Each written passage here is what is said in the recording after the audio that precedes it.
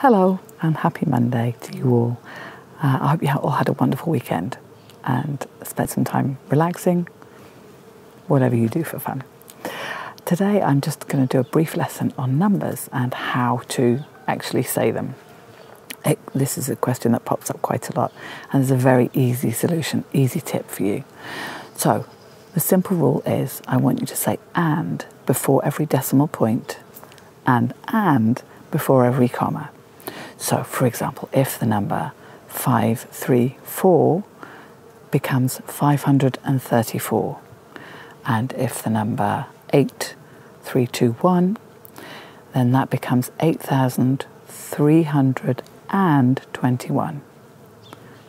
If it's 1, 2, 3, 4, 5, 6, it would be 123,000. Oh, 456. I forgot the numbers there. Um, so, hopefully, that's a quick tip for you. And if you have any questions, let me know. And if you're interested in receiving one to one business coaching, then please send me a message and we can have a chat further. Meanwhile, have a wonderful day. Take care. Bye.